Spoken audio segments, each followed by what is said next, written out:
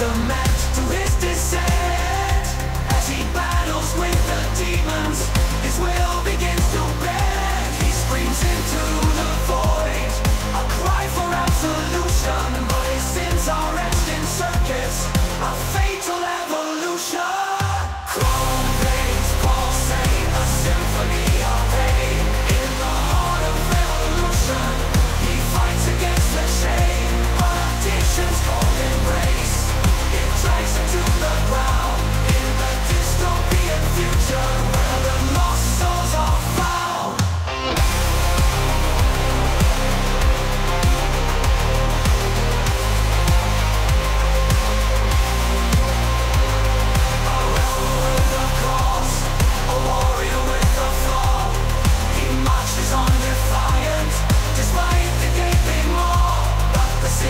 seeds from within. A cancer of the soul.